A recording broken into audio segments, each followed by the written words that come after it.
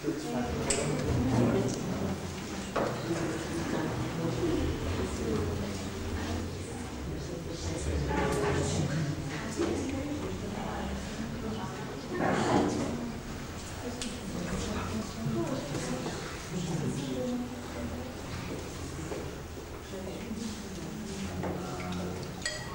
então, boa noite.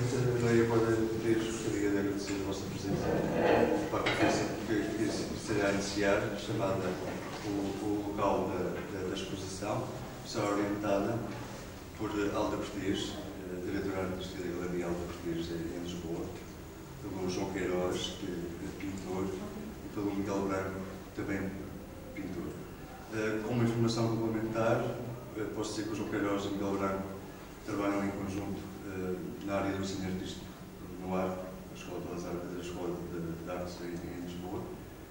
E, e, pronto, e também tiveram eh, há, há uns anos atrás na, na, na, na formação com, com fundadores da Galeria Monumental em, em Lisboa. Pronto, parece que com a apresentação é, é suficiente. Muito agradecido. Obrigado. Então, boa noite. Queria agradecer imenso a vossa presença. Queria também agradecer ao, ao Maurício e à Cecília e a todas as pessoas da Porta 33 o, o convite que nos fizeram, a mim em particular, para, para expor na galeria e também agora para estar aqui presente neste, nesta pequena conferência. Uh, o tema, como o Maurício já, já referiu, é o local da exposição. Uh, é um, pronto, tem, tem a ver com, com, com, com aspectos da produção artística, da difusão da, da, produção artística, lugares de visibilidade da produção artística, aspectos que, que nos têm interessado em particular a mim e ao João nestes últimos anos. Portanto, vai ser um, uma, uma conversa informal. O João fará um pouco uma. uma falará de aspectos históricos dessa, desse, desse tipo de, de, de problema, de, de, de, vários modos de visibilidade da obra. Uh, a Alda está aqui também mais como, particularmente como galerista, portanto uma pessoa que tem toda uma experiência ligada a aspectos de visibilidade da obra, né? no, no caso particular da galeria, que é precisamente este espaço onde estamos agora. E pronto, eu, eu farei algum comentário em relação a, a, a, ao, ao, aquilo que o João disse. Desculpem, Uh, portanto, não se, trata, não se tratará de uma conferência sobre o meu trabalho, senão fará, não fará sentido. Uh, embora eu possa falar depois, posteriormente, de alguns aspectos da, da experiência, da, da, minha experiência como pintor e, e, em particular, ligado ao tema. Passo a palavra ao João. Boa noite. Uh, nós pensámos que o tema, o local da exposição, tem alguma pertinência e era bom refletirmos sobre ele.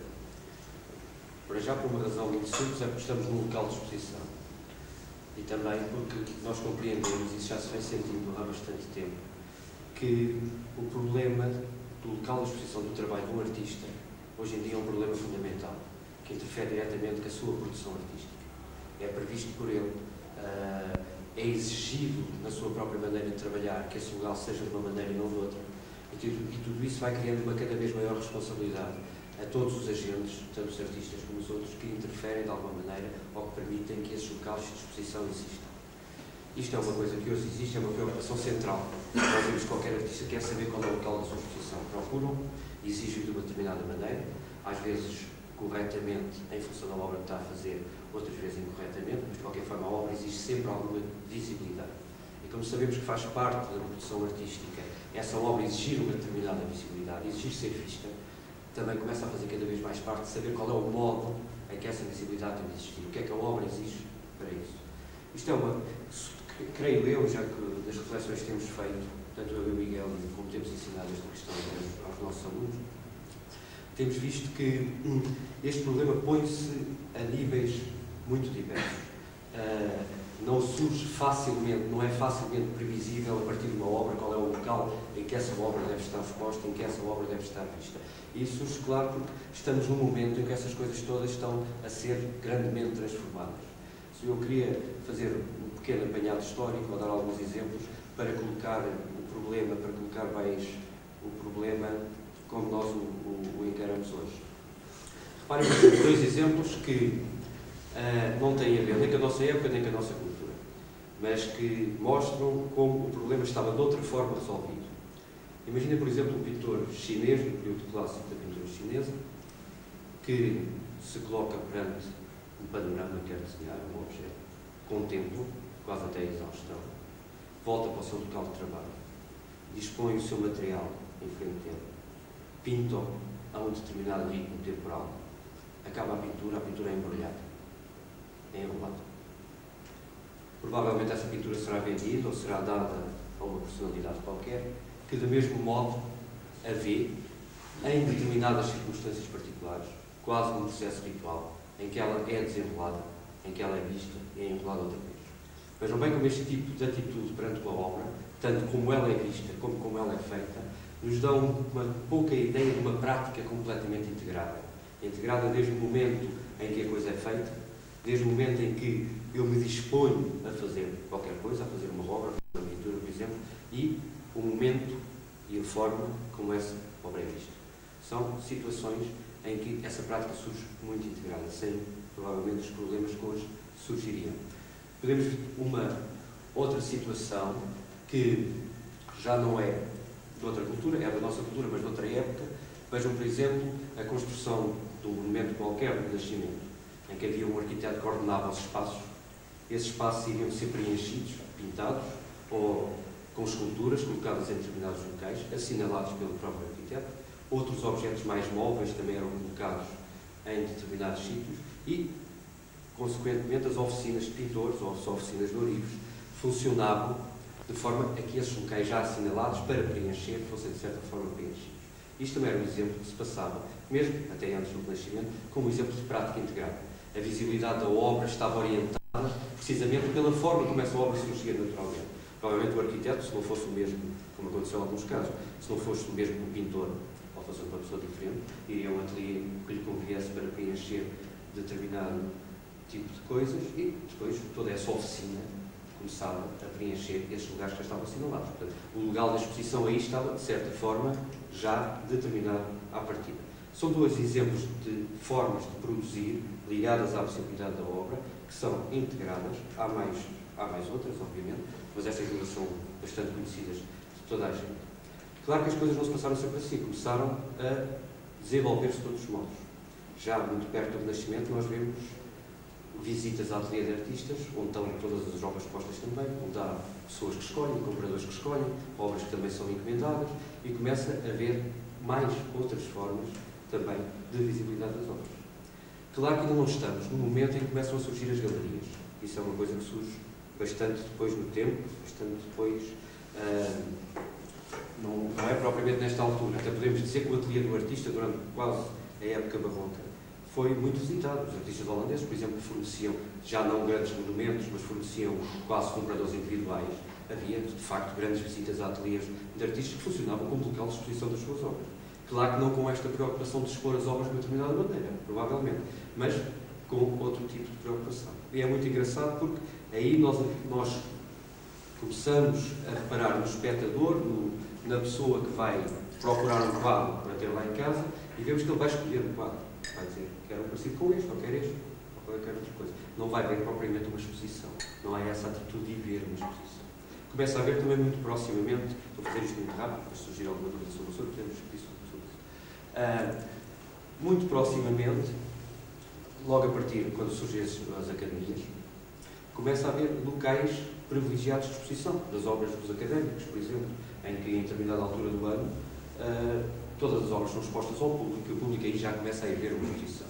É muito célebre, por exemplo, no século passado, os salões em Paris, onde anualmente surgiam imensas, no século passado, no século XVIII também, onde surgiam imensas pinturas e, e, e esculturas de, de autores diferentes que o público ia visitar em massa, ver, escolher, apreciar e aí sim ia visitar uma exposição. Mas essas exposições não têm o caráter dessa exposição que nós vemos hoje.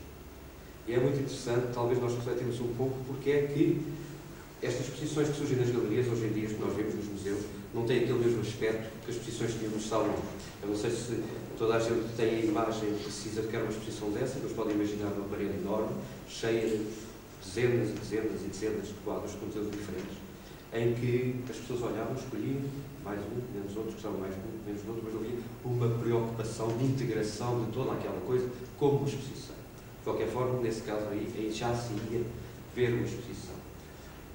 Quando o salão desaparece e começam a aparecer as primeiras exposições quase de, de, de grupo, como a exposição, de, a exposição do Salão dos Cruzados, onde houve muito em, em França, no, no século passado, onde escultores e pintores de uma nova escola, que só punha ao academismo, também expunham coletivamente, e já aí a orientação para ver essa exposição já era um pouco diferente. O público ia expectante alguma coisa diferente, mas a forma como essa exposição aparecia ainda era muito semelhante.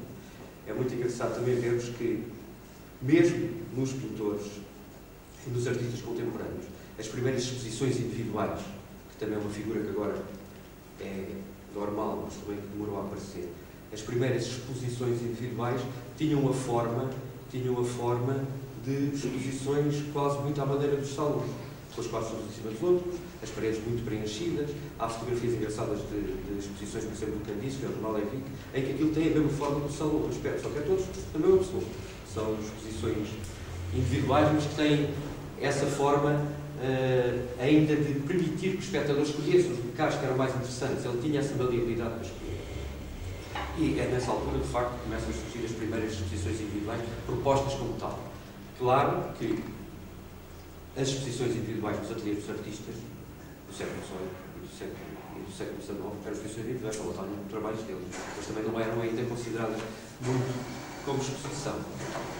A primeira coisa que nós podemos aqui, a primeira ilação, se quiserem, que nós podemos tirar desta situação é que, para ver exposições deste género, deste género das exposições do salão, ou dessas primeiras exposições modernas, onde havia muitos quadros acima de outros, eh, era necessário considerar o espectador, considerar o público de determinada maneira. Isto é, era necessário, numa exposição, por exemplo, no salão dos finais do século XVIII, que foram visitados até por pessoas que escreveram sobre eles, o Bom, por exemplo, que dizia que este quadro não era bom por estas razões, aquele por aquelas, outros não gostavam, mas isso permitia que o espectador que fosse a uma exposição tinha a possibilidade de assinalar para ele próprio quais eram os lugares interessantes. Eu vou ver uma exposição com dezenas de autores e vejo quais são os quadros que me agradam mais. Isto, fazia uma, isto dava-nos a ideia de uma certa autonomia do espectador e uma certa relação de interferência com, da obra com ele. Ele era um, um ser autónomo, esteticamente conformado, esteticamente conforme, e as obras, quanto muito, preenchiam ou não essa sua capacidade estética de apreciar as obras. Isto é, eu era crítico, mesmo em termos de sensibilidade, podia ser crítico daquilo que estava a ver havia coisas que me agradavam, que gostavam, que eu achava belas, e eu achava as obras belas não por um caráter unicamente intrínseco da obra, mas porque as minhas faculdades sensíveis julgavam de determinada maneira, de forma em que eu sentisse que essa obra era bela, e isso permitia-me visitar uma exposição desse género, olhar para os lugares. Só que, hoje em dia, a consideração de um espectador não pode ser desta forma tão simples. Hoje, a obra muitas vezes exige uma uma intromissão, mesmo ao nível sensível do espectador, que faça com que ele tenha uma relação com ela não tão distante como havia nessa altura. Não como sendo tão juiz da obra, mas como se deixando embrenhar da obra para a obra propriamente facultar o seu juízo que ela tem. Havia, houve, houve situações até interessantes, mesmo dentro desta época, não, na, não já dentro das galerias, é interessante. Há uma história que conta um, um célebre colecionador francês que foi uma exposição de César, de mostrar ao filho que o quadro não gostava. E chega, chega ao sítio das obras, estavam, estavam, estavam expostas, creio que era na galeria do Rua, provavelmente. Numa dessas primeiras, uma dessas primeiras, primeiras galerias e começa a explicar que a obra estava, estava mal, que não era uma obra boa, que a obra que eles estavam habituados não era aquela. Mas na presença dela, começou a explicar, a explicar, a explicar. A obra foi influenciando, foi mudando, de certa forma, aquilo que pôde, da própria, da própria modo como ele estava a apreciar a obra. E como era uma pessoa até bastante honesta, acabou por usar o quadro de César, já convencido que o quadro não era assim tão mal como, como, como, como parecia. Portanto, vejam que este tipo de local onde a obra aparece influencia de facto a maneira como essa obra é vista, a maneira como essa obra é encarada pelo espectador e tem de contribuir, e tem de contribuir para que ela própria possa comunicar com ele de uma forma que não o considera como um ser completamente autónomo, mas vai a limite considerá-lo como um ser que vai ser mudado pela obra. Isso, e uma coisa é logo claro, só pode ser mudado pela obra se a obra tiver um espaço e se o espaço não negar essa possibilidade, e ainda mais se o espaço contribuir para que essa possibilidade exista. E daí está a acontecer hoje que, diferentemente destes todos os exemplos que eu dei anteriormente, haja um grande nível de responsabilização da parte dos espaços e da parte dos artistas, da forma como a obra é emoldurada pelo espaço, da forma como a obra é visível de uma determinada maneira, para permitir perfeitamente, perfeitamente isso. Hoje em dia, como nós vemos um pouco este problema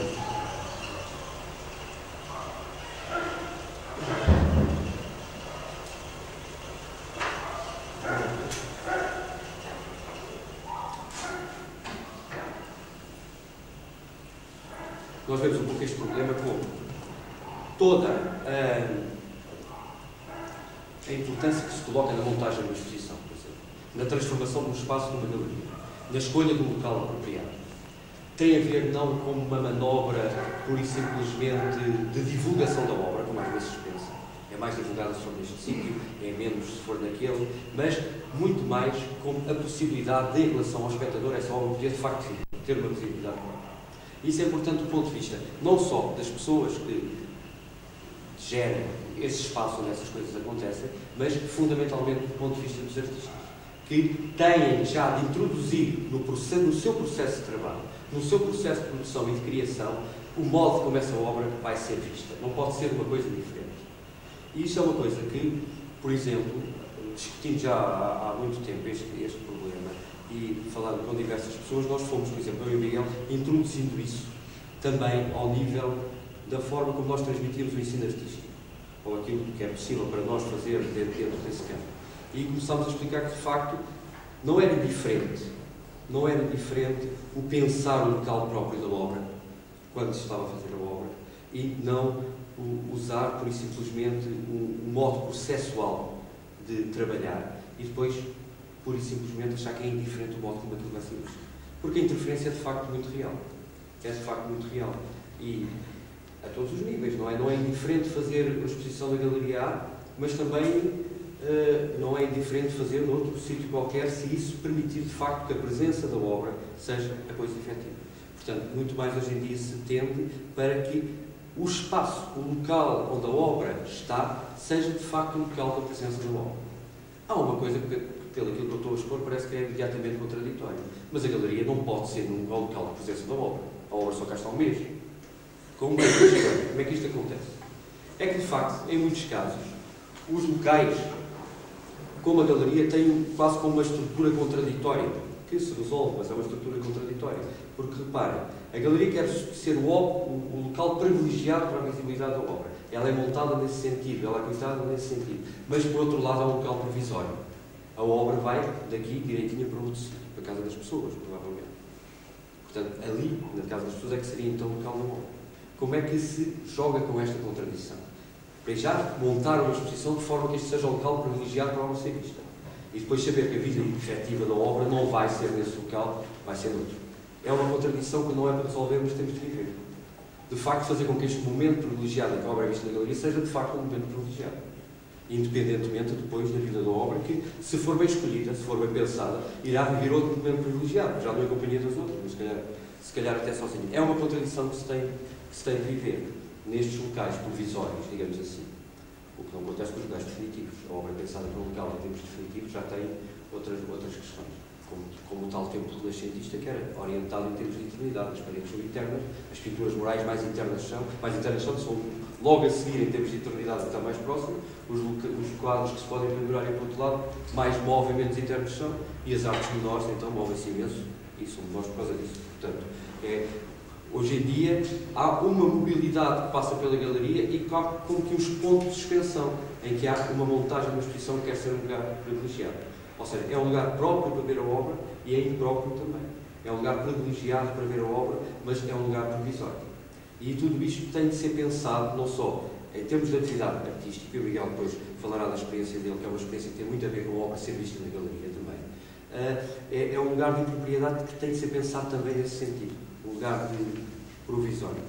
Eu, para ficar, gostava depois, se isto é algum, algum motivo de discussão, esclarecer algum destes pontos, que eu creio que foi bastante rápido mais do que. Não? Não?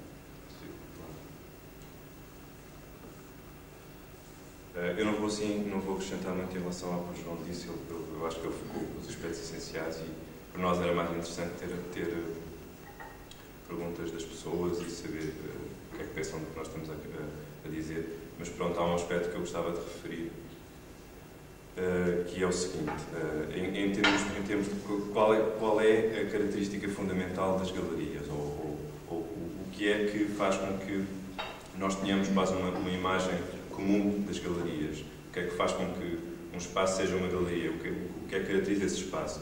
Podemos dizer que, nos últimos tempos, esse espaço tem vindo a tornar-se cada vez mais neutro. Há uma procura de neutralidade. Se faz com que as paredes sejam brancas, com que o chão seja branco ou cinzento, com que as luzes sejam de uma determinada maneira, com que não haja interferências para a visibilidade da obra. Isso é um aspecto importante uh, como característica, precisamente de que o, importante num espaço nesse espaço que acolhe uh, todas as obras de arte é precisamente a sua neutralidade e a sua versatilidade, quer dizer, uh, ela, uh, o espaço da galeria, em princípio, está disposto a acolher todo e qualquer que seja o trabalho do pintor ou do escultor. É? Mas estamos também a falar de, de, de aspectos de, de, uma certa produção tradicional. se pensarem, por exemplo, em instalações que são feitas especificamente para determinadas galerias, aí o problema que o João colocou mantém-se da transitoriedade da, da, da, dessas peças, quer dizer, elas foram feitas para, estar, para serem vistas naquele espaço, mas uma vez acabada a exposição vão deixar de existir. Não deixam de ser peças menos importantes por causa disso, porque o que está em questão é precisamente esse lugar temporal, é precisamente o facto, é a possibilidade que é dada às pessoas de visitarem uma peça que de certa maneira é única, que não se vai repetir no tempo. Pronto, isso também é um aspecto importante. Um, no, no meu caso, eu, eu, eu coloco, uh, eu acho que isso é bastante visível pelo tipo de trabalho que está, está à vista. Interessa muito a, eh, a, a, relação que se estabelece entre, entre a, a, visão da pintura como um objeto, como um objeto que, que está para ser visto e que nos coloca uma certa uma distância. Ele, ele, o modo como os objetos estão pintados pressupõe que existe, que existe um observador e que existe um certo tipo de distância que se estabelece entre o observador e o quadro e um, eu tenho procurado, um, isso, isso tem acontecido de uma forma mais ou menos natural, integrar todos esses aspectos de visibilidade no meu, no meu próprio trabalho. Quer dizer, um, posso dizer que, do ponto, do, do, ponto de vista processual, não acho pronto, que o meu trabalho seja. Quer dizer, não, não são os aspectos processuais do meu trabalho que eu acho que sejam relevantes para a sua compreensão, são certamente mais os aspectos ligados à própria visibilidade das obras. Quer dizer, são, são objetos que eu pinto exatamente para serem vistos, exatamente para, para fazerem um conjunto. Eu também trabalho em séries, faço normalmente séries temáticas que desenvolvo de uma forma quase exaustiva, uh, repintando e, e, e, destruindo muitas coisas pronto, que, não, que eu acho que não, que não cumprem o seu papel nessa mesma série. Mas quando os não falava há pouco na, na questão, do, na questão da exposição e da e da importância que é dada à montagem da exposição, eh, eu posso apenas juntar uma coisa que eu acho que tem, que tem um pouco a ver, que é eh, a obra dá a saber não apenas como uma obra única, mas também como um conjunto de, de, de, de coisas, não é? como um conjunto de pinturas. E o que nós vemos numa exposição não é o somatório das pinturas, mas é também um, um corpo de exposição. É? Daí a importância dele, dele estar montado de determinada maneira para que cada, cada uma das obras possa ser vista na sua singularidade, mas para aquilo que é apreendido na sua totalidade, ser precisamente o conjunto, ser uh, aquilo que eu acabei de dizer, ser um corpo de exposição. Uh, e daí também a tal naturalidade do espaço que eu, que eu acabei de referir há pouco. Pronto, acho que são, são esse aspecto é importante e da ligação a um que eu se calhar deixei um pouco do ar e que se calhar ainda vou refrisar, que esse conjunto de exposição, esse corpo de exposição, permite ao espectador colocar-se de uma determinada maneira, ser de certa forma envolvido pela obra, começar a funcionar com ela e não como funcionava antes de cá chegar. Isto tem a ver com uma razão muito engraçada, que se pensou, por exemplo, durante muitos séculos, que o tipo de, o tipo de funcionamento da nossa sensibilidade era dado a partir. Estava dado. Havia, as coisas entravam pelos nossos órgãos de sentidos e o que mudava muito era o entendimento desses dados. Hoje em dia, já se sabe que a própria, a própria forma da sensibilidade funcionar vai também sendo transformada. E ser transformada qualitativamente até quando está em presença de obras de arte. Isso até acompanhou todo o pensamento estético, por exemplo, a estética grande do século XVIII, que era a estética de base kantiana do século XVIII e depois do século XIX, considerava que a sensibilidade era uma coisa dada. A beleza estava, tinha a ver com o jogo da sensibilidade, do entendimento e da imaginação. Quando essas faculdades todas jogavam muito bem, jogavam um jogo de grande liberdade, então as pessoas tinham a sensação de belo. Isso é uma coisa que hoje em dia, nem em termos filosóficos, nem em termos neurofisiológicos, se coloca desta forma. E então, muitas vezes, e mesmo inconscientemente, sem ter provavelmente a noção deste problema, há toda uma tentativa dos artistas poderem envolver o espectador de forma que, de certa forma, modifica. Não só a nível de entendimento, quando, quando o caráter da exposição é muito conceptual, por exemplo, mas ao próprio nível da sensibilidade. Por isso é que há um tem de haver, por parte dos espaços que expõem as obras, um grande cuidado com isso. Porque há determinado tipo de confrontos, há determinado tipo de confusões que fazem apenas que a pessoa entre cá da mesma maneira, saia de cá da mesma maneira que entrou. E nada disso influenciou esse nível. Pode-se pedir à, à, pessoa que goste mais de umas coisas e goste mais de outras. Compreenda melhor umas ou compreenda outras. Mas isso não é suficiente. Porque não é a partir do gostar mais que faz com que uma pessoa seja espectador da obra, ou ter a faculdade de gosto. É a faculdade de empatia que a obra e modificar a própria sensibilidade. Não é a faculdade de compreender mais que a pessoa é privilegiada a ver a obra. É a possibilidade, por empatia dessa obra, ter outro nível de compreensão. Portanto, se não há uma, um cuidado extremo nessa toda envolvência, não se ganha de facto nada. E não há, eh, de facto, um ganho efetivo com isso. Porque, de facto, nós, quando vamos a uma exposição qualquer, não estamos a exercer as nossas faculdades, estamos a ganhar faculdades, que é uma coisa completamente diferente. Ou mudar as faculdades que temos. Portanto, o, próprio tipo de exposição, historicamente, também evolui em função desta compreensão que as pessoas têm, têm da obra. Já há poucos artistas que fazem coisas para as pessoas gostarem, por isso simplesmente. Não é esse o grande motivo, até podem fazer coisas que as pessoas gostem. Obviamente podem, mas não é para as pessoas gostarem do que fazem. É para influenciarem de alguma forma, é para intervirem de alguma forma. E essa intervenção faz logo imediatamente a dois níveis, tanto ao nível sensível como ao nível do entendimento. Compreendeu-se durante muito tempo que, ao nível sensível, em termos estruturais, era impossível intervir. Era impossível intervir. Não mudava esse tipo de sensibilidade. E nós hoje sabemos que o contacto com determinado tipo de obras muda a sensibilidade das pessoas, que à partida não gostavam dela. E isso é mais um fator para que o espaço de exposição, o local de exposição, tenha de ser concebido com uma grande responsabilidade. Facto, porque só isso é que pode fazer com que obras de arte, por exemplo, tenham a dar algo qualitativamente às pessoas. Possam, por exemplo, até uh, confrontar-se com todas as imagens que as pessoas consomem durante imenso tempo e durante todo o dia. Se nós fizéssemos, por simplesmente, imagens, não vale a pena, fazemos poucas, pouquíssimas em relação àquelas que estão a ser produzidas, é às vezes eventualmente ter só como imagem até menos interessante. Mas é todo esse ambiente, toda a possibilidade sensível que as pessoas têm em termos de qualidade. Pode fazer, por exemplo, um confronto entre uma exposição de pintura e as estampas no jornal, ou as estampas de uma revista, ou as imagens de televisão. Isso também, o local da exposição tem uma influência fundamental em o modo como apresenta isso, o modo como consegue envolver nesse sentido o espectador. Eu queria que entendessem bem essa envolvência do espectador não como um processo demagógico, de ganhar, as pessoas se, agradarem bem, mas um processo que tem função com esse próprio pressuposto da obra, função com aquilo que a obra quer transmitir. Vocês veem claramente que, por exemplo, exposições onde estão muitas obras em confronto têm dificuldades acrescidas a este tipo. Não, é não quer dizer que não se consigam resolver, mas têm dificuldades acrescidas a este tipo. É difícil, de facto, hoje em dia, para a obra cumprir, a obra dar cumprir a função que pode ter em termos de enriquecimento sensível das pessoas e enriquecimento do entendimento, este local de exposição é de tal ordem importante, de tal ordem, de uma responsabilidade de tal ordem, que de facto joga-se muito aí de ser conseguido ou não ser. Mas isso, uma pessoa com experiência em fazer exposição, pode também dizer alguma coisa sobre isso. Eu gostaria de acrescentar uma circunstância extremamente curiosa em relação à exposição que você está a fazer, que eu partilho, de certa forma, não é?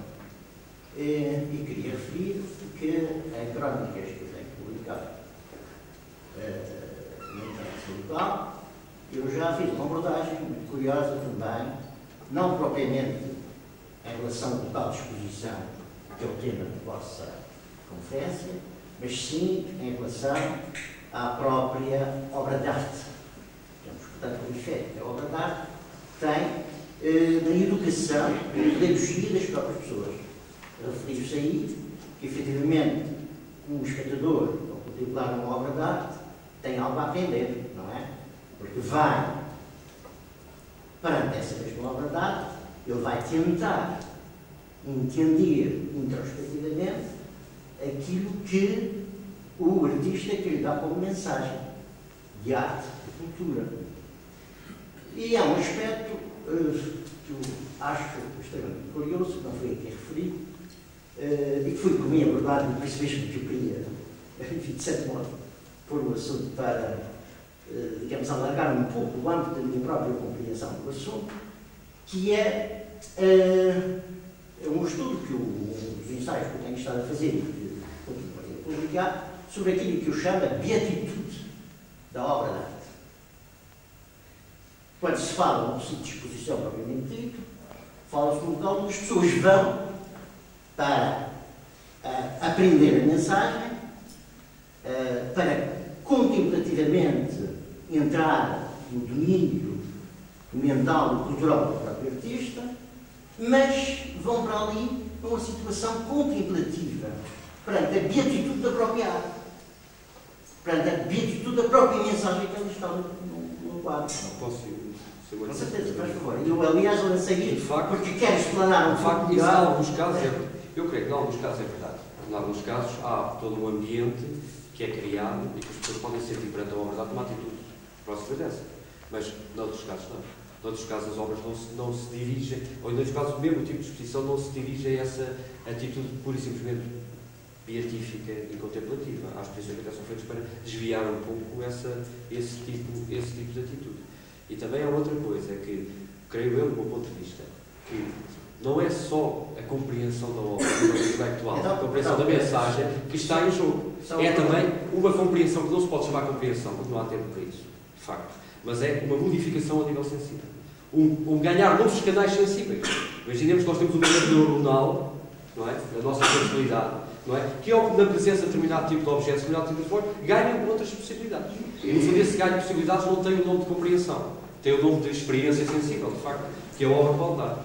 Portanto, há muitos níveis onde isso acontece, de facto, ao nível de contemplação e de entendimento, mas também ao nível de modificação sensível e de apreensão sensível, de enriquecimento sensível, se quiserem, em termos físicos, desse enriquecimento das concatenações que nós fazemos mesmo no aparelho sensorial, que são mais permitidas no lado e por presença de determinado de objetos. Eu, eu creio claramente que é na presença da pintura que se tem uma grande apetência, uma grande capacidade, por exemplo, a apreciar a qualidade das superfícies. Não é de facto na presença dos jornais, não é de facto na presença da televisão, não é de facto, não é de facto na presença da natureza. É preciso a pintura para fazer isso. Pintura e outras coisas que trabalham obviamente. Portanto, não passa, não, passa, não passa apenas pelo nível de compreensão. Em alguns casos passa. Noutros, não. Noutros, o nível de compreensão até é secundário. É secundário. Mas lá está lá presente, eu- a presença dessa obra ser uma presença efetivamente que, que tem potencialidades, a nossa sensibilidade funcionar e a compreensão ser, ser secundária. Agora, esse enriquecimento sensível não é necessariamente comparável com a atitude beatífica perante a obra de arte.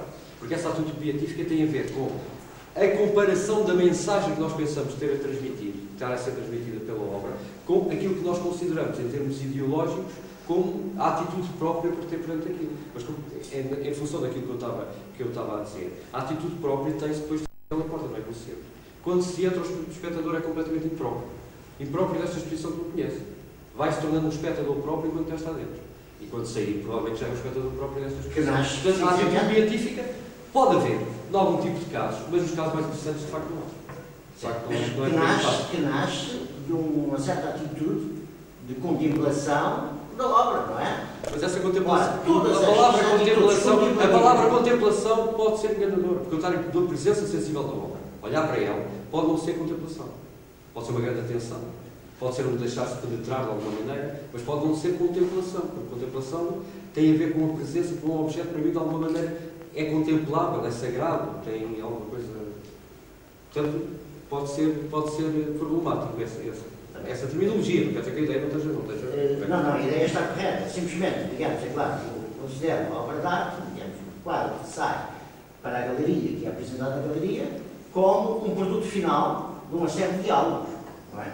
Primeiro, o diálogo do artista com, eh, digamos, o objeto ou com a natureza que deu origem essa, essa, essa mensagem, e ele depois vai para o estudo, não é? E depois faz um diálogo próprio com a obra que vai precisamente pintar, pintar, esculpir, ou sei lá, ou compor, seja ela qual for. E depois o diálogo continua. Não, mas é, o que eu lhe digo. Eh, eu creio que a ideia de, de, de está correta, mas a terminologia pode nos levar a erros. O diálogo, o diálogo, o diálogo e a mensagem pode, são coisas que são muito traduzíveis literariamente. São compreensíveis em termos de linguagem. Muitas vezes o processo de apreensão de uma obra de arte não passa por processos idênticos a estes. Porque o diálogo efetivo do pintor quando está a pintar não é só dialogar com a obra, porque isso não sei bem o que é que dizer, mas é também criar-se conforme vai fazendo a obra. Está-se a criar como artista, está a criar a sua sensibilidade. Está-se a criar. Uma pessoa que se cria fazendo a obra, não é uma pessoa autónoma da obra, que no momento dado vai dialogar com ela. É uma pessoa que se vai criar fazê-lo. É que é mais isso. A palavra para isso não sei se será diálogo. Mas se calhar é isso. Diálogo, diálogo será, digamos, um termo, digamos, entre aspas, Pois é, que se usa um para significar um determinado, uma determinada transmissão de, de, de apreensões sensoriais. Então não é preciso chamar diálogo. Sim. Tem a ver com a linguagem. Eh, mas de qualquer, maneira, de qualquer maneira estabelece, no meu entendimento, estabelece sempre, digamos, um currículo, não é, de apreciação profunda, eh, que se pode dizer, entre aspas, como seja, como sendo um diálogo. Mas esse diálogo continua, vamos lá continuar com, com o termo diálogo, Nós estamos a fazer diálogo. nós estamos a fazer um diálogo eh, extremamente produtivo e, e instrutivo. Eh, e esse diálogo continua até o momento em que o espectador na galeria, eh, vamos novamente aplicar a mesma palavra, contempla obra, aprecia a obra, introduz, digamos, na sua mensagem e chega à conclusão que efetivamente aquela mensagem que ali está na sua frente é a mensagem que lhe interessa e ele vai lá para casa. E o diálogo Essa é continua. precisamente a tese contrária que eu estava a defender. É precisamente o contrário. Isso é o espectador típico do século XIX e do século XVIII, que era autónomo em relação à obra, ia lá escolhia a que interessava mais, qual era o diálogo que de facto interessava. É? E depois, pronto, contente, levava, provavelmente, se tivesse possibilidades para ter, levava essa obra para continuamente dialogar com ela. Hoje em dia não se passa isso, estamos com um espectador completamente diferente. Um espectador que, de facto, antes de ver a exposição, tem um grande grau de propriedade. Tem um grande grau de propriedade. De, de, de ter de se aprender a si próprio como espectador perante esta obra e ser espectador daquela. E essa obra tem possibilidade de dar isso. Não é uma entidade autónoma que dialoga, dialoga com ela, porque este diálogo para ele é privilegiado por uma razão qualquer. Porque são obras que já está mais habituado, ou gosta mais, ou que têm uma mensagem que lhe é agradável. Hoje em dia, nós podemos, um espectador qualquer, independentemente de qualquer tipo de mensagem que a obra esteja a transmitir, mesmo sem a compreender, de facto, pode ser enriquecido, em termos sensíveis, aí, com uma coisa que diálogo, ou outra coisa qualquer, na presença de uma obra, se ela for disposta, se ela própria obra estiver disposta, e estiver emoldurada por todo o espaço, de forma a que isso, a que isso, a que isso se, se compreenda. Eu acho que isso é um, um exemplo de espectador, de facto, como ele normalmente funciona. Sim. Mas eu acho que hoje em dia todos os artistas, e mesmo muita gente, todos os artistas, quer dizer, alguns artistas, e mesmo as pessoas que têm responsabilidade sobre os espaços onde essas obras se apresentam, veem um bocado, um bocado diferente essa perspectiva. Porque se não era possível, se esse espectador fosse tão autónomo, era possível, não interessava bem a exposição. Interessava colocar diversas obras, desde que houvesse espaço, e a pessoa dialogava lá com elas como queria, não havia interferência. O diálogo privilegiado não era entre esta e aquela, era eu e esta. E as outras, eu esqueci, não estava. Só havia aquela e aquela que era como queria. Era, era, era quase indiferente o modo como a exposição estava feita. O que eu estava a dizer, precisamente na minha intervenção, é que isso não era indiferente por causa, precisamente, do espectador não é considerado dessa forma. Pelo menos para alguns artistas que se preocupam, por exemplo, como é que a sua, como é que a sua obra aparece no espaço. Como é que ela dialoga, de facto, com esse espaço. Como é que ela cria essa ambiência para a pessoa se possa enriquecer sensivelmente ou mesmo intelectualmente perante ela. Portanto, o espectador para a obra não é um dado adquirido. É um dado da obra, no fundo, afinal, o limite que quer adquirir. Mas para isso precisa de um espaço próprio, precisa de uma respiração própria, precisa de um diálogo próprio, não com o espectador, que é um diálogo impossível à partida, mas com tudo o que está bom. O diálogo é possível depois, depois do espectador se deixar ser, conseguir ser espectador dessa obra. que a obra consiga fazer. É preciso todo um cuidado à volta dela. Não, é? só no termos, em termos de produção, mas em termos de exposição, de forma que esse espectador permita que esse diálogo, então, no fim, no fim, aconteça, mas com um grande grau de propriedade. Porque é evidente que, em termos de sensibilidade, uma mensagem ótima pode ser dada por um quadro horrível. Pode ser dado um quadro que não tem qualidade absolutamente nenhuma.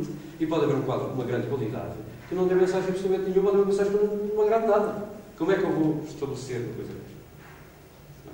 Isto é importante. Porque é, que, porque é que para mim é privilegiado dialogar com um quadro que me dá uma mensagem com a qual eu posso de facto dialogar? Isso também não será útil para mim dialogar com quadros que não têm mensagem nenhuma. Ou tem outra. Portanto, a obra tem que conquistar o espectador. Conquistar nesse sentido, não é conquistar demagogicamente. Não é provar que ele está ali muito bem e sente-se lá muito bem. É conquistá-lo precisamente com todos os meios que tem de lhe transformar profundamente a sensibilidade, o entendimento, etc. Na medida que é possível. Atenção, parece-me parece que houve um certo desenvolvimento uh, da sua parte em relação àquilo que eu disse. Ah, talvez. O senhor está a, entrar precisamente da minha própria perspectiva. Ótimo. É uma questão de linguagem. Está a entrar da minha própria É uma questão de mensagem. É que ele não disse que o espectador levava um conceito ready-made quando chegava a uma galeria para escolher o seu quadro. Ele leva os é? olhos Ele leva, ele leva, ele leva uma, uma, uma, uma, ânsia, não é? De captar mensagens. Não, e ele, a partir daí. Não necessariamente. Ele não leva só um entendimento ready-made, leva um aparelho sensível ready-made também, que também é verificado. Não leva. Não, não é ready-made. É, foi bem ali à volta, agora já é diferente. Preconcebida. Quer dizer, ele vai precisamente entrar no diálogo com a obra exposta, não é? Vai depois selecionar, digamos, aquelas que se apresentam melhor adaptadas aos seus próprios princípios, aos seus próprios uh, sentimentos e às suas próprias aspirações. Não é? E ele depois vai entrar no campo da opção. Mas as obras é? não existem para, para preencher as aspirações e os sentimentos das pessoas, existem para ajudar, existem para enriquecer as pessoas. É isso mesmo, mudou na isso é, isso, isso é completamente mudado que está, de facto, das produções contemporâneas. Pode estar errado, pode estar errado, mas das produções contemporâneas, que é isso que nós estávamos a falar, na maneira de expor contemporânea, na maneira das galerias, dos espaços funcionários é isso que está posto em questão. É que não há esse, esse tipo de atitude, vou dialogar com aquilo que já pressuposto através de, todo, toda a minha estrutura me permite dialogar. Eu vou mudar. Primeiro, de tudo, primeiro de tudo, não é? Eu penso que a pessoa que procura uma galeria de arte eh, procura enriquecer o seu próprio espírito. Essa é a primeira coisa. É? Portanto, nós estamos a pensar, o senhor estará a pensar que eu estou a tentar eh, desvirtuar aquilo que afirmou, quando pelo contrário, não é? Não, mas não 100% sintonizado com a sua maneira de pensar. Porque eu entendo e acho que é essa a única pode, efetivamente, empregar neste caso, é que a obra de arte traz sempre uma mensagem extremamente importante para tudo e qualquer espectador que vai à galeria de arte, não é assim?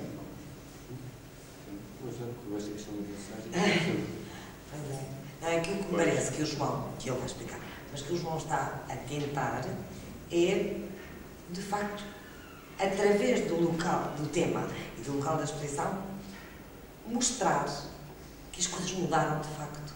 Não são certas eventualmente, mas que mudaram. E que há pontos de vista muito claros uh, hoje em dia. E que. Vai lá, Miguel. Não, é, é, estas questões da mensagem, do significado e do, e do, sentido, que são tudo palavras diferentes, são questões que, que me interessam particularmente. Uh, o meu percurso na pintura tem sido no sentido de criar. Uh, objetos, pinturas, para serem vistas e que digam o menos possível. Uh, isso tem uma razão muito própria dentro do próprio processo de trabalho, porque eu tenho verificado, é, é, é, um, é um, processo que foi um processo contínuo, que uh, eu tinha uma relação mais forte com as pinturas que eram mais austeras, que tinham menos elementos, que tinham menos para dizer, nesse sentido. Uh, por exemplo, eu comecei por pintar várias figuras, mesmo quando comecei pelo tema dos animais, não sei se teve a oportunidade de ver a exposição em cima, a, outra exposição. Comecei por, pintar várias figuras. Uh, acontecia que essas figuras, para ver duas ou três figuras, elas, elas criavam relações entre elas próprias. Relações que nós, como observadores, criávamos. Era-nos fácil contar histórias sobre, sobre essas figuras. Quer dizer, era um processo psicológico quase automático, não é? E eu vim a afastar-me desse processo, quer dizer, vim a, a, a sentir que as, as, os, os, quadros eram mais interessantes, os quadros que eu pintava, para mim, eram mais interessantes quando não criavam esse tipo de relações psicológicas, quando, pelo contrário, eram extremamente surdos, aqui entre aspas, quando não, não, não, não tinham nada para dizer, não, é? não tinham uma mensagem para veicular, era aquilo que me interessava. Esta exposição acho que coloca um bocado esse problema, quer dizer, eh, eu, eu, eu olho para estes quadros e, e eles não me dizem nada, nesse sentido, em que não apresentam nenhuma mensagem. Eles não veiculam nenhuma ideologia, nenhuma religião, mensagem nesse sentido que eu estou a falar. No entanto, produzem sentido. Não é? E aí tem a ver com aquilo que o João acabou há bocado de, de dizer, e eu penso que ele foi bastante explícito, em termos de o, que existe, existem particularidades próprias da pintura que nós não podemos substituir à fotografia, nem ao vídeo, nem, ou, ou outros, outros tipos de, de, de meios de comunicação. Essas particularidades têm a ver com a superfície, com o modo como essa superfície é pintada. É? Uh, essas particularidades podem ser dadas de uma, de uma, de um, com aspectos apenas formais. É? Pode haver pessoas que só estejam interessadas em produzir boas ou bonitas pinturas. É? Uh, no entanto, essas são coisas, a meu ver, essa, essa, essa, essa tendência não, não, não parece que tenha grande valor. Uh, mas essas particularidades, ao nível da superfície, são um dado adquirido. Essas sim são um dado adquirido. O que é que caracteriza essencialmente uma pintura? Além de ter uma escala, de ocupar espaço, será com certeza, com certeza a sua bidimensionalidade. Essa bidimensionalidade tem que ser potenciada no próprio ato da produção. É? Agora, voltando à questão do, do, do, da mensagem e do sentido, hum, é, eu, eu, penso que podemos falar nestes termos. Hum, quando nós falamos de mensagem e de significado, em relação às pinturas, ou às esculturas, ou qualquer, qualquer outro tipo de expressão artística, estamos a aproximar-nos do domínio da linguagem, é? da linguagem escrita, oral, ou seja, fazer, arranjar substitutos para as coisas, é? agentes que significam, uma figura que faz não sei o quê. A arte grega, toda a arte do Renascimento, existem figuras que estão lá para significar, não é? Aquela figura tem este significado, ela tem um papel numa história. E a, história da pintura é uma história cheia de histórias e cheia de figuras que contavam histórias. Eu penso que hoje em dia um dos problemas que se coloca é precisamente saber até que ponto é que, um, é que temos histórias para contar, até que ponto é que o, que faz, o, que faz parte do, do próprio, da própria pintura e do próprio, do próprio âmago da pintura, se é o contar histórias ou se é outra coisa. Eu não estou a pôr de parte, isto também queria deixar claro, uh, a utilização, não, não, estou a tirar valor à utilização para cada alguns pintores, mesmo contemporâneos, que têm, uh, são, que são pessoas que gostam de contar histórias e que utilizam a pintura precisamente para esse, para esse, para esse fim. Estou a relativizar o problema e a acrescentar mais alguma coisa em relação ao que o João disse, de dizer que esse não é a única maneira de funcionar. Ou seja, nós podemos fazer pinturas inclusivamente figurativas sem veicular mensagens. E aí estamos, estamos aí na, na, questão do sentido, daquilo que eu, que, eu, que, eu, que, eu queria, que eu queria frisar. Uma coisa é o significado, não é? uma coisa é, é, é, é esse processo de substituição, é aquela figura está lá para me dizer, para me contar uma história, para me dizer uma coisa que eu já sei ou, ou que quero descobrir. É? Outra coisa é o sentido, o sentido de uma pintura, que pode ser, pura e simplesmente, a sua configuração, o facto, implicitamente, da, da, da, da própria presença da obra.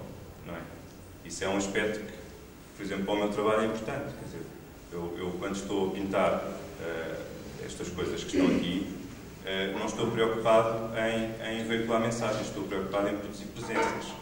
E isto são coisas um bocado difíceis de explicar, mas uh, ainda bem que falou e, e que, que, trouxe o, o problema do, do, do, significado da mensagem, do sentido, porque era realmente um aspecto que me interessava, que me interessava falar aqui.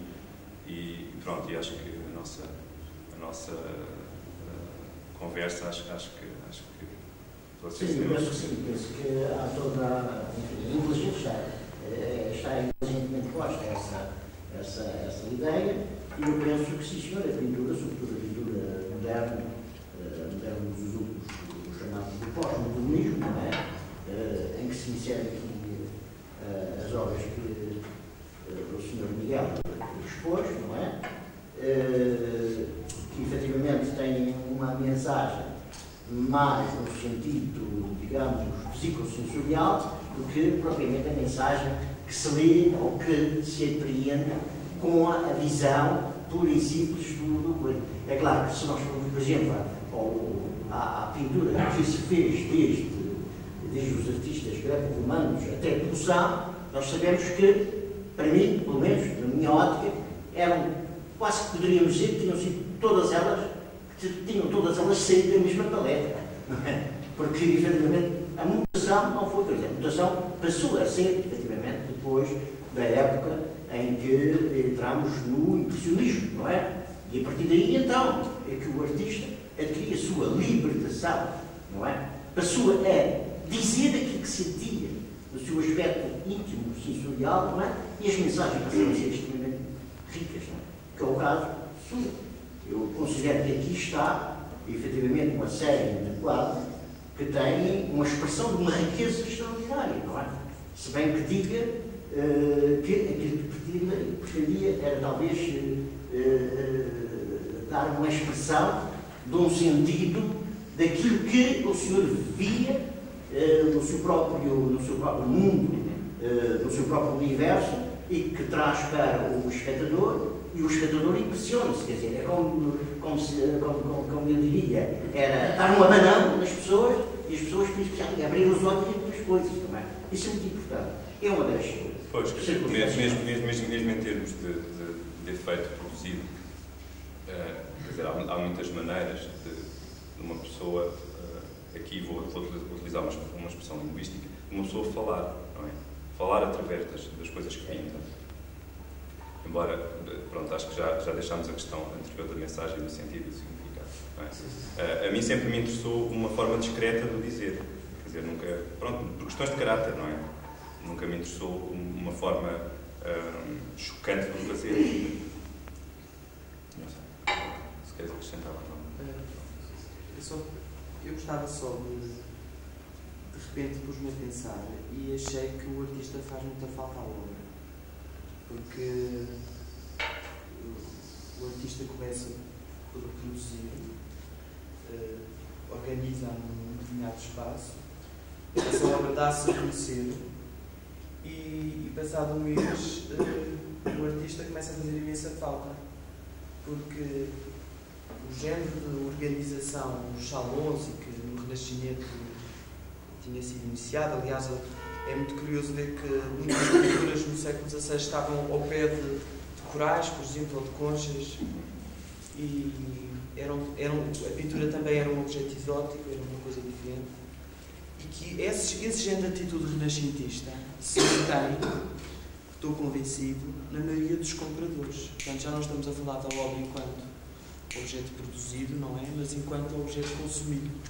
E, e, e apesar de tudo, não é opinião pessoal, tudo o, o que se disse, disseram ser verdade, eu continuo a achar que, de facto, o espírito dos salões e aquela ideia de, de juntar as pinturas com os corais mantém-se. Os corais são outros, as pinturas também são, mas de facto há uma anulação neste momento pela vida de todas essas propostas que visavam uma alteração da atitude do artista e daquilo que, que ele produzia. É precisamente por essa razão que eu estava a falar, falei na minha exposição, que por um lado a galeria é um lugar provisório, porque a obra vai ao pé do coral, mas no, fundo é um lugar importante lugar de grande propriedade, porque de facto é aí que a obra pode ser vista na sua amplitude. Daí uma crescente responsabilidade, tanto na galeria como no museu, é? precisamente por causa disso. Porque depois o lugar definitivo, o lugar é também, de certa forma, um lugar próprio. Pelo menos para as obras que têm um determinado tipo de circulação. Ou então é um lugar próprio,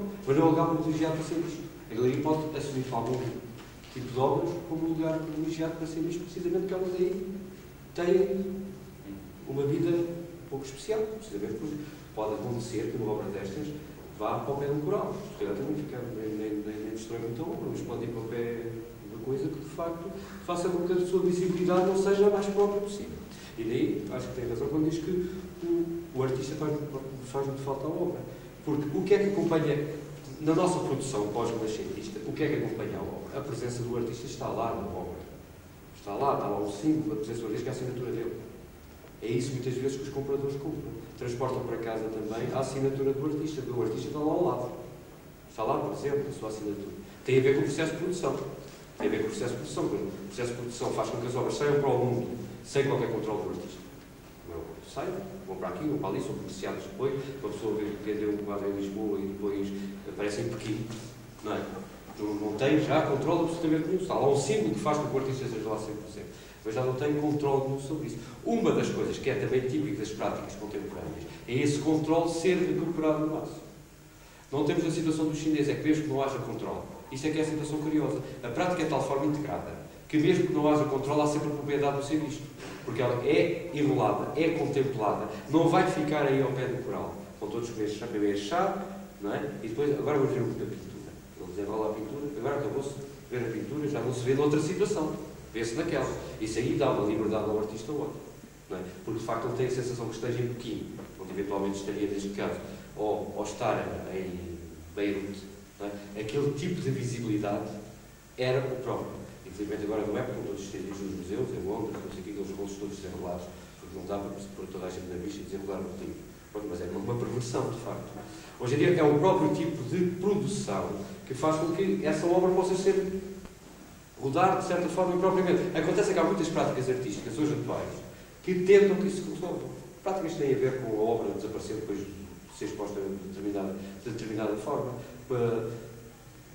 Práticas que têm a ver com a obra ser feita para um sítio determinado e só para aquele sítio determinado. Mas isto não nega a outra prática, que é a prática, por exemplo, desta pintura, que sabe que ela vai ser privilegiadamente vista aqui e vai ser, talvez, também privilegiadamente ou impropriamente vista do outro lado. Portanto, tudo é possível nesse sentido. Só que a galeria pode manter-se, o espaço de exposição, ou o local de exposição, que pode ser uma galeria, tem de ter essa visão, tem de ter esse tipo de responsabilidade. Tornar, pelo menos naquele momento, um sítio de grande propriedade, embora provisório.